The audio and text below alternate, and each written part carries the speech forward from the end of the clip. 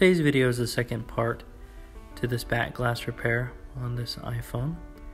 I'm going to be showing you how we finished the repair. If you haven't checked out my previous video, here's kind of how it ended, where we get to the point where we're removing the back glass. I do have an upcoming video, and I and I uh, just finished a video with uh, Zach from Jerry Rig Everything where we demonstrate that method. Uh, so check out that video when it comes out.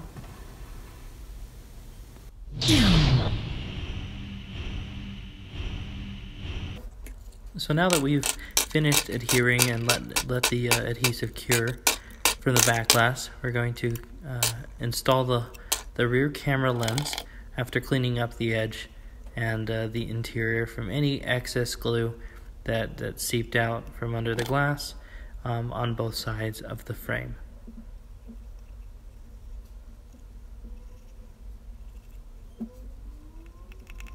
I like to make sure it looks really good, so I take my time in this process. And I also want to make sure that the external charging unit sits flush, so I'll make sure to remove any excess adhesive. And the same with the charge port assembly as well. I don't want it to be lifted in any way, putting pressure on the speaker or anything like that. I'll clear away any adhesive that'll prevent the camera from sitting flush against that frame and I'm also going to bend back any part of that metal frame that we had to break uh, to make sure that the lens fits well.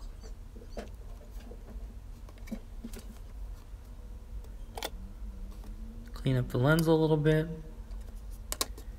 We're going to use E8000. It's a clear waterproofing adhesive that's flexible to a certain extent, cures in, in about five minutes or so, fully cures within 24 hours.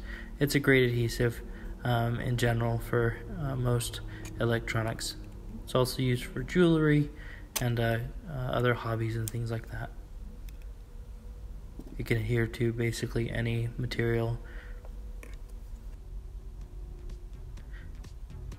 Now enjoy the uh, the uh, fastest uh, possible reverse teardown of that I could possibly do.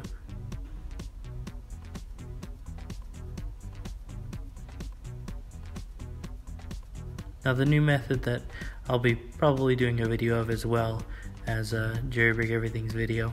Um, it, it's uh, basically doing the same repair without having to take the entire phone apart. In fact, you can leave the entire phone intact. You don't even have to take out a single screw to do it that way. So now that everything's back in, I'm going to replace the uh, um, the adhesive that goes around the border to help uh, make this uh, phone as water resistant as possible.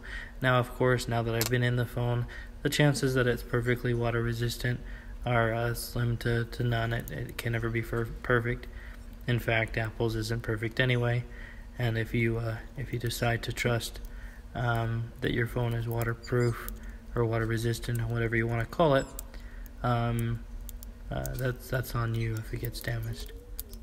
Unfortunately. Besides, with them costing as much as they do, I don't know why someone would want to go swimming with them. We'll go ahead and connect the uh, um, the connectors from the screen, the proximity sensor, and your speaker, and make sure everything works. Put in the last few screws to help hold down all the connectors on that plate.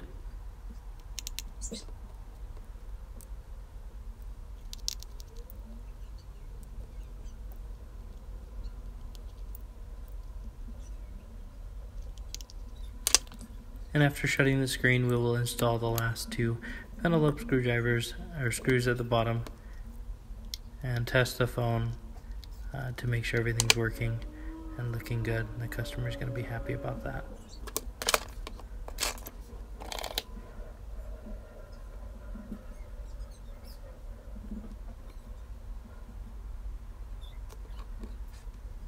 And there you go. I hope you enjoyed this video. If you liked it, feel free to hit the uh, thumbs up and uh, subscribe if you haven't already. Uh, stay tuned for the Apple Watch Series 5 teardown. I will also be doing a glass replacement on that, so look for that video.